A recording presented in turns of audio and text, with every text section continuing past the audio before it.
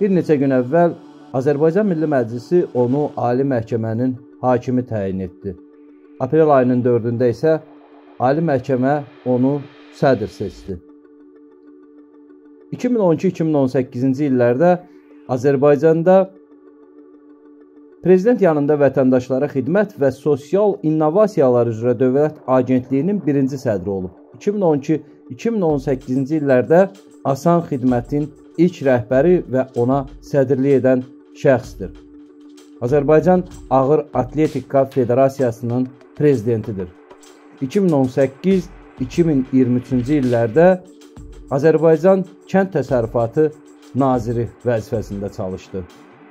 Ötən bu zaman ərzində Azərbaycanda aqrar sektorunun inkişafı ilə bağlı olaraq onun ünvanına bir xeyli tənqidlər səsləndirildi.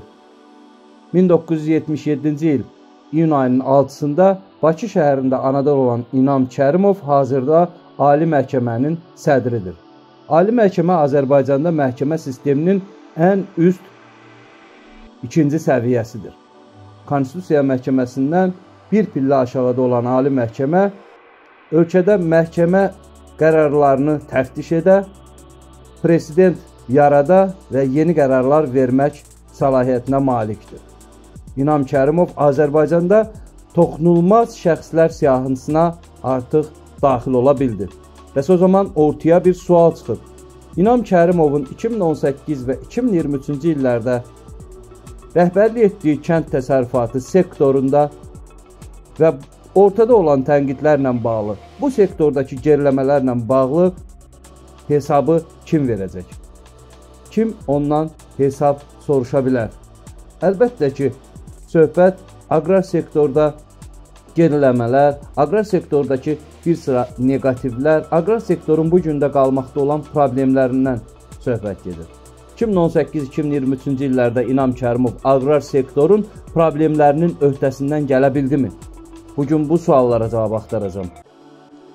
Ortada olan real və rəsmi statistik məlumatlar onu göstərir ki, aqrar sektor bu ötən müddət ərzində nəinki inkişaf etməyib, ümumiyyətlə məhsuldarlıq aşağı düşüb. Cənubi Qafqaz regionunda Azərbaycanda aqrar sektor digər dövlətlərlə müqayisədə kifayət qədər geriləyib. Təkcə Gürcüstanda aqrar sektor üzrə ixracat göstəriciləri 9 milyard dollar olduğu halda Azərbaycanın aqrar sektoru üzrə ixracat göstəriciləri 1 milyardı ötmür. Çox təəssüflə qeyd etmək lazımdır ki, Azərbaycanda ən çox dövlət investisiyası yatırılan və dövlət büdcəsindən vəsaitlər ayrılan sahələrdən biri də aqrar sektordur. 2023-cü ilin dövlət büdcəsi üzrə təsnifata baxarkən biz ilk növbədə hərbi xərclər üzrə vəsaitlərin həcminə diqqət ayırırıq. Hərbi xərclər üzrə vəsaitlər kifayət qədər çoxdur və ikinci pillədə aqrar sektora ayrılan vəsaitlərdir. Azərbaycanın dövlət büdcəsindən hər il milyardlarla manat aqrar sektorun inkişafına yönəldilir. Ötən bu müddət ərzində Azərbaycanda aqrar sektorun regionların inkişafı ilə bağlı 4 dövlət proqramı qəbul edilib və bu 4 dövlət proqramının Demək olar ki, əksəriyyəti İnam Kərimov nazir təyin edildikdən sonra icra edilməyə başlayıb. Necə icra edilib? Hansı uğurlar əldə olunub? Hansı hədəflərə çatılıb, hansı hədəflərə çatılmayıb? Bu suallar var ortada. Azərbaycan əhalisinin 40%-ə yaxını regionlarda yaşayır. Və regionlarda yaşayan vətəndaşların əsas gəlir mənbələri məhz əkinçilik, maldarlıq və digər aqrar sahə üzrə təsərrüfat sahələridir. Ölkədə aqrar sektorun inkişafı ilə bağlı olaraq paralel aparılmalı olan işlər var ki, əlbəttə bunlar İnam Kərimovun səlahiyyətlərinin xaricində idi. Məsələn, suvarma sistemləri, əkin sahələrinin suvarılması. Bu sahə Kənd Təsərrüfatı Nazirliyinin səlahiyyətindən kənar digər bir dövlət qurumunun səlahiyyətindədir. Amma İnam Kərimovun səlahiyyətində olan məsələlər də kifayət qədər çox idi. İnam Kərimov Asan Xidmət rəhbərliyindən aqrar sektor üzrə rəhbər təyin edilərkən gördüyü ilk iş aqrar könüllülər yaratmaq oldu. Aqrar könüllülərin işi mətbəələrdə çap edilmiş bukletləri paylamaq, üzərində könüllülər yazılan jiletlər geyinmiş gəncləri tarla-tarla, kənd-kənd, rayon-rayon gəzdirməklə fotolar çəkdirməkdən ibarət oldu. İnam Kərimovun nazir təyin edildiyi ilk dövrlərdə özünü qalstuqsuz nazir və qucağına quzu alan nazir kimi xarakterizə edirdilər. Hamı düşünürdü ki, Avropa təhsilli və kifayət qədər gənc olan İnam Kərimov aqrar sektorda uğurlara çata biləcək. Lakin gözləntilər özünü doğrultmurdu. Kənd Təsərrüfatı Nazirliyinin aparatında işləyən təcrübəli aqrar sektor mütəxəssisləri yavaş-yavaş vəzifələrindən uzaqlaşdırıldılar. Əvəzində isə İnam Kərimov sinif yoldaşlarını, tələbə yoldaşlarını, dostlarını, qohumlarını nazirliyin aparatına yerləşdirdi. Təsadüfi deyil ki, 2022-ci ildə biz Kənd Təsərrüfatı Nazirliyinin aparatının üzvlərinə diqqət eləndə orada aqrar sektor üzrə mütəxəssislərin olmadığını gördük. Artıq ötən 4 il müddətində İnam Kərimov öz yaxınlarını bu nazirliyin rəhbərliyinə yerləşdirə bilmişdi. Bəli, təkcə yerləşdirə bilməmişdi. Eyni zamanda İnam Kərimov bu sahə üçün ayrılan qrantların, dövlət investisiya proqramlarının istifadəsi ilə bağlı olaraq da öz yaxınlarını, dostlarını işə, dırnaq arası işə cəlb edə bilmişdi. Zaman-zaman mətbuatda bu məsələlərlə bağlı tənqidlər yer alırdı. Amma nazir təyin edildiyi ilk aylarda mətbuata açıq olan, mətbuatla sıx əməkdaşlıq etməyə üstünlük verən İnam Kərimov cəmi 6 aydan sonra mətbuatla bütün əlaqələrini kəsdi və ictimaiyyətə hər hansı bir hesabat verməyi özünə borc bilmədi. Nəinki özünə borc bilmədi. Ümumiyyətlə belə hesabatlara rast gəlmək mümkün olmadı. Nazirliyin ictimaiyyətlə və mətbuatla əlaqələr şöbəsi demək olar ki, sıradan bir idarəyə çevrildi. Gəlin indi isə Azərbaycanda aqrar sektorla bağlı İnam Kərimovun nazir olduğu dövrlərdəki rəqəmlərə diqqət edək. Azərbaycan tarixən aqrar ölkə olub. Bu gün də belədir. Hazırda ölkə əhalisinin ən azı 40%-i kəndlərdə yaşayır. Ölkə iqtisadiyyatında qeyri-neft sektorundan sonra ixracatda aqrar sektor ikinci yer tutur. Təəssüf ki, idxalda da kənd təsərrüfatı məhsullarının payı yüksək səviyyədə qalmaqdadır. Baxmayaraq ki, ölkə başçısı aqrar sektorunun inkişafı üçün bütün zəruri addımları atıb. Son 17 ildə regionların inkişafı ilə bağlı 4 dövlət proqramı qəbul edilib. Kənd təsərrüfatı məhsullarının istehsal xərclərinin əsas hissəsini dövlət öz üzərinə götürüb. Aqrar sektorunun inkişafı üçün son illərdə 100 milyonlarla manat, hətta milyardlarla manat xərclənib. Bu tədbirlər bu gün də davam etdirilir. Həyata keçirilən bütün tədbirlərə rəğmən aqrar sektor yerində sayır. Hətta bəzi sahələr üzrə geriləmələr də var. Məsələn, ölkənin qida təhlükəsizliyində əsas yer tutan buğda istehsalı hər il sürətlə azalır. 2019-cu ildə ölkəmizdə 2 milyon 149 min ton buğda istehsal edildiyi halda 2020-ci ildə bu göstərici 1 milyon 867 min tona qədər azaldı. Ötən il isə cəmi 1 milyon 885 milyon ton buğda tədarük edildi. Yəni ötən 3 il ərzində 1 milyon tona qədər daxildə buğda istehsalında geriləmə oldu. İkinci çörək hesab edilən çəltik istehsalında da enmə müşahidə olundu. 2017-ci ildə ölkə üzrə 16 min ton çəltik istehsal edildiyi halda 2019-cu ildə bu rəqəm 12 min tona düşdü. 2020-ci ildə isə 9 min tona qədər azaldı. Təxminən yarı-bayarı. Göründüyü kimi son 3 ildə çəltik istehsalı 2 dəfəyə yaxın azaldı. Halbuki dövlət proqramına görə 2025-ci ilə qədər ölkədə illik çəltik istehsalı 40 min tona çatdırılmalı idi. Və bunun üçün bu dövlət proqramının icrası üçün Azərbaycanın büdcəsindən kifayət qədər milyonlarla manat həcmində vəsait ayrılmışdı. Yəni cəmi 9 min tona qədər azalan çəltik istehsalı 40 min tona nəinki çatdırılmadı, artıq 2022-ci ildə bu istehsal 8 min tona qədər aşağı düşdü. Kənd təsərrüfatı məhsullarının digər sahələrində də geriləmə var. Məsələn, 2017-ci ildə ölkə üzrə 410 min ton şəkər çuğunduru istehsal olunurdu. Sonrakı illərdə isə istehsalda kəskin azalma baş verdi. 2020-ci ildə isə cəmi 233 min ton şəkər çuğunduru tədarik edildi. 2017-ci ildə bu rəqəm 410 min ton isə 2020-ci ildə artıq 200 min tona qədər, yəni yarı-bayarı azalma baş verdi. 3 ildə çəltik istehsalında da, şəkər çuğundur istehsalında da 2 dəfəyə qədər azalma. Azərbaycanda zəngin pambıqçılıq ənənələri olub. Bəli. 70-80-ci illərdə ölkəmizdə 1,2 milyon tondan artıq pambıq istehsal edilirdi. Bu istehsal hesabına o zamanlar Azərbaycanın gücü yüngül sənaye və kompleksi yaradılmışdı. Amma gəl ki, bu ənənələr sonradan məhv edildi. 2017-ci ildə Azərbaycan Respublikasının pambıqçılığın inkişafına dair 2017-2022-ci illər üçün dövlət proqramı təsdiq edildi. Azərbaycan prezidentinin imzaladığı sərəncama əsasən dövlət proqramının 6.3-cü bəndində qeyd olunurdu ki, bu proqramın icrası nəticəsində 2022-ci ildə xam pambıq istehsalı 500 min ton təşkil edəcək. Çox təəssüf ki, bu xəyal olaraq qaldı. Belə ki, ötən il cəmi 183 min ton pambıq toplandı. Çay istehsalından isə danışmağa dəyməz. Belə ki, 2020-ci ildə Azərbaycanda cəmi 600 ton yaşıl çay yarpağı istehsal olunur. Bu rəqəm ölkəmizdə idxal olunan çaydan 22 dəfə azdır. Yəni biz xaricdən Azərbaycana 22 dəfə çox çay idxal edirik. 2021-ci ildə ölkəmizdə 13984 ton çay idxal olunur. Digər kənd təsərrüfatı məhsullarının da istehsalında azalma oldu.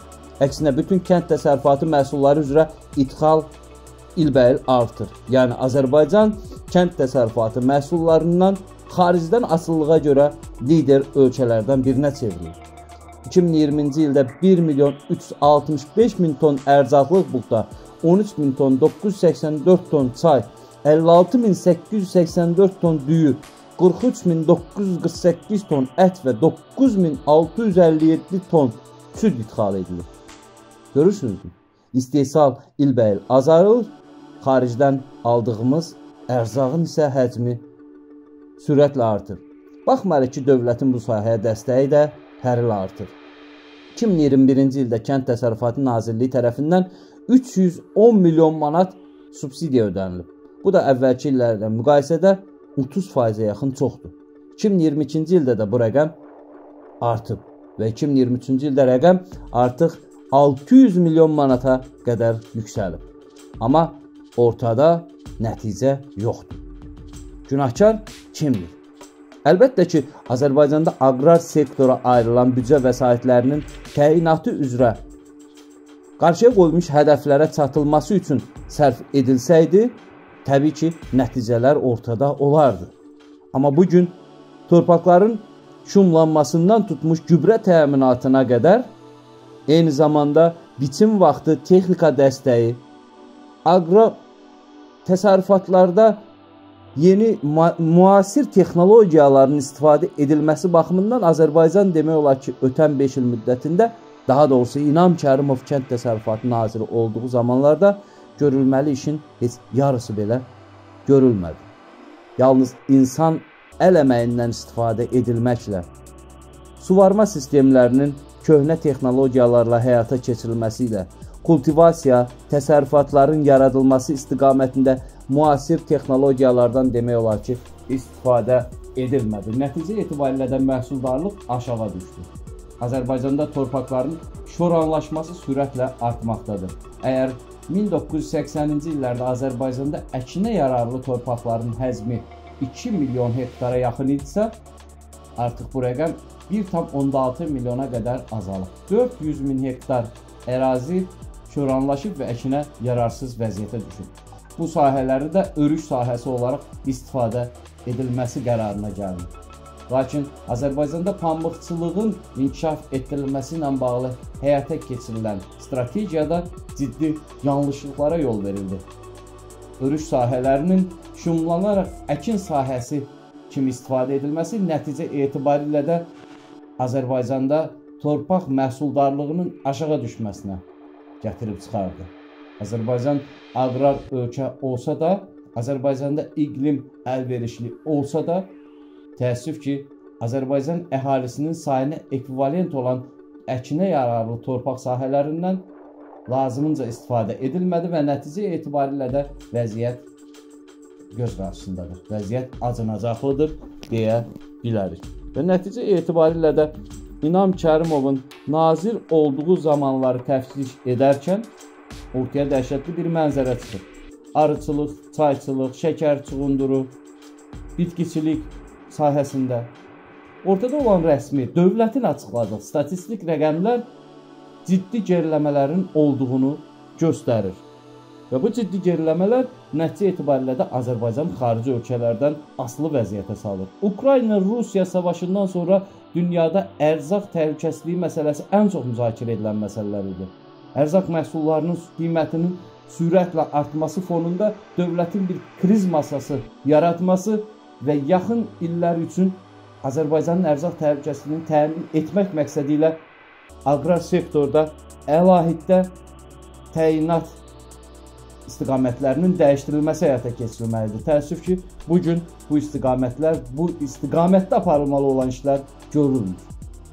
Və nəticə etibarilə də İnam Kərimovun nazir olduğu zamanlarda Kənd Təsərrüfatı Nazirliyinin heç bir təşəbbüslə çıxış etməməsi Azərbaycanı yenə də xarici ölkələrdən ərzaq baxımından asılı vəziyyətdə və təhlükəli vəziyyətdə saxlayır. Ölkənin ərzaq təhlükəsizliyində əsas rol oynamalı olan Kənd Təsərrüfatı Nazirliyi bu istiqamətdə görməli olduğu işlərin heç birini həyata keçirə bilmədi. Xüsusi toxumçuluq sahələrinin inkişaf etdirilməsi ilə bağlı da lazım olan işlər həyata keçirilmədi. Toxumçuluğun inkişaf etdirilməsi ilə bağlı bir sıra dövlət proqramları qəbul edildi və bu dövlət proqramlarının icrası istiqamətində hansı uğurlarda hansı uğurlar əldə edildi, məlum deyil. Azərbaycan Respublikasının 2019-2023-cü illərdə heyvandarlığın inkişaf etdirilməsi və örüş otlaq ərazilərinin səmərəli istifadə olunmasına dair dövlət proqramı qəbul edildi. Azərbaycan Respublikasında çayçılığın inkişafına dair 2018-2027-ci illər üçün dövlət proqramı təsdiq edilməsi haqqında Azərbaycan prezidenti 12 fevral 2018-ci ildə fərman imzaladı. Heyvandarlığın intensiv inkişaf etdirilməsində taxılçılığın inkişafına dair dövlət proqramı və ən nəhayət toxumçuluğun inkişafına dair dövlət proqramları qəbul edildi. Amma qəbul edilən bu proqramların heç bir uğurlu nəticələri olmadı. Azərbaycanda 1 sentyabr 2022-ci il tarixinə real sektorda kredit qoyuluşlarının ümumi həcmi 19 milyard manatdır. Bunun cəmi 598 milyon manatı kənd təsərrüfatının maliyyələşməsinə ayrılıb. Bu da cəmi kredit qoyuluşunun 3%-i deməkdir. Yəni 19 milyardlıq kredit və investisiya qoyuluşlarının cəmi 3%-i kənd təsərrüfatına ayrılır. Hansı ki, kənd təsərrüfatı qeyri-neft sektoru olaraq əsas strateji sahələrdən biri hesab edilir. Ölkədə keyfiyyətli aqronom və digər məsləhət xidmətləri əlçatan deyil. Subsidiya və digər maliyyələşdirmə mexanizmlərinin təkmilləşdirilməsi, emal mərhələsi, qida təhlükəsizliyi sahəsində sənədləşdirmə, prosedurların çətinliyi, emal zamanı istifadə edilən bəzi xammal məhsullarına gömrük və vergi rüsumlarının güzəştin olmaması kimi problemlər hələ də qalır. Həmçinin dünyada ərzaq qiymətlərinin yüksəlməsini də nəzərə alsaq, rüsumların diferensiallaşdırılmasını təklif edə bilərdilər. Texnoloji avadanlıqların köhnəlməsi, peşəkar texnoloqların azlığı, satış mərhələsi, bazarlara çıxış imkanlarının genişləndirilməsi istiqamətində İnam Kərimov kənd təsərrüfatı naziri olduğu zamanlarda heç bir iş görmədi deyə bilərik. Təəssüf ki, bu zaman kəsimində ölkə üzrə sığortalanan əkin sahələri cəmi 285 min hektar təşkil etdi. Bu da 1,6 milyon hektara çatan ümumi əkin sahələrinin cəmi 17% deməkdir. Yəni əkin sahələrinin və əkin üzrə təsərrüfatların demək olar ki, heç birində sığorta həyata keçirilmir. Cəmi 18%-də əkin sahələri və təsərrüfatların sığortalanması həyata keçirilir. Hansı ki, dünya təcrübəsində aqrar sektorda təsərrüfatların sığortalanması %99, bəzən %100%. Məsələn, İsraildə, Hollandiyada, Qardaş Türkiyədə demək olar ki, təsərrüfatlar %100 sığortalanır. Təkcə təbii fəlakətlər üçün sığortalanmır əkin sahələri. Təsərrüfatlar eyni zamanda məhsuldarlıq aşağı olarsa sığorta ödənişləri belə ala bilirlər. Azərbaycanda isə aqrar sektora təklif edilən sığorta paketində bunlar yoxdur. Yalnız təbii fəlakətlər nəzərdə tutulur. Hansı ki, aqrar sektorda bitkiçilikdən xüsusilə də xəstəliklər, ekoloji problemlər və bundan dolayı məhsuldarlığın aşağı olması, iqlim normalarının pozulması nəticəsində təbiət hadisələri və məhsuldarlığın aşağı olması, parazitlər, zərərverici həşəratlardan dolayı təsərrüfat sahibləri ziyana düşürsə, sığortalar, sığorta şirkətləri, dövlət sığorta şirkətləri onları sığortalayır. Amma Azərbaycanda yalnız təbii fəlakət, daşqın, sel, zəlzələ, bu kimi vulkan püskürməsi, bu kimi qeyri-adi təbiət hadisələri zamanı təsərrüfatlar sığortalanır. Məhsuldarlığın aşağı olmasına görə isə əziyyət çəkən yalnız fermerlər. Aqrar sektorda daha çox öyündüyümüz xaricə satdığımız məhsullardan biri də pomidor. Bu ilin mart ayında cəmi 7,1 milyon dollar dəyərində pomidoru xarici ölkəyə satmışıq. Amma keçən ilin mart ayında bu rəqəm 19 milyon idi. Yəni bu il cəmi 7 milyon dollar. Amma ötən il 19 milyon dollar idi. Yəni 2,7 dəfə azalma var. Bu tək mart ayı üçün olan vəziyyət deyil. 2022-ci ilin yanvar-mart aylarında cəmi 21 milyon dollar dəyərində pomidor xaricə satmışdıq. 2020-ci ilin eyni dövründə bu rəqəm 44 milyon dollar idi. Yəni artıq Azərbaycanda əgər 2020-ci ildə 44 milyon dollarlıq pomidor xarici satılırdısa, bu il bu rəqəm cəmi 7 milyon manat dollara qədər azalıb. Görürsünüzmü? Azərbaycan xarici ölkələrə 9,7 milyon dollar dəyərində fındıq ixrac etmişdi. 2020-ci ilin mart ayının göstəricisi ilə müqayisədə 4.4 milyon ABŞ dolları və ya 31% azaldı. Bu ilin mart ayı ərzində Azərbaycan xarici ölkələrə 28.5 milyon dəyərində fındıq satıb. Bu da 2020-ci ilin ilk 3 ayı ilə müqayisədə 7.8 milyon dollar, yəni 21% azdır. Yəni öyündüyümüz pomidor ixracatında 44 milyondan 7 milyon dollara qədər azalma Fındıq ixracatında isə analoji olaraq ciddi geriləmələr müşahidə olunur. 44 milyon ABŞ dolları dəyərində fındıq əgər 2020-ci ildə xaricə satılırdısa, bu ilin son ayları ərzində bu rəqəm 9,7 milyon dollara qədər azalıb. Təxminən 36 34 milyon dollar azalma var həm pomidor ixracatında, həm də fındıq ixracatında. Kimsə bunun səbəbini araşdırmır. Kimsə dövlətə bütün bu geriləmələrlə bağlı nə hesabat verir, nə də hər il artan dövlət büdcəsindən ayrılan vəsaitlərin hara xərcləndiyinin hesabı kitabı aparılmır. 2018-2023-cü illərdə Azərbaycanın kənd təsərrüfatı naziri olmuş İnam Kərimov Bundan sonra çətin ki, ortada olan bu suallara cavab versin. Çətin ki, kimsə İnam Kərimovdan Ali Məhkəmənin sədri olaraq 5 illik kənd təsərrüfatı naziri fəaliyyəti dövrü ilə bağlı belə açıq suallar ünvanlaya bilsin.